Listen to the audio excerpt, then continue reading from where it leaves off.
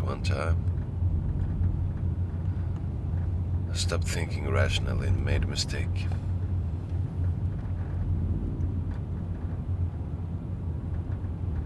I was uh, crushing a guy's neck in a car door.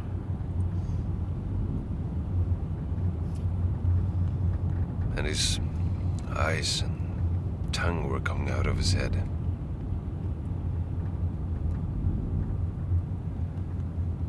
And for some reason, I just couldn't leave him looking like that.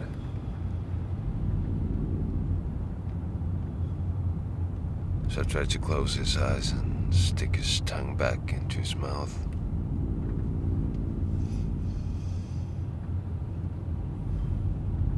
But his face was stuck like that.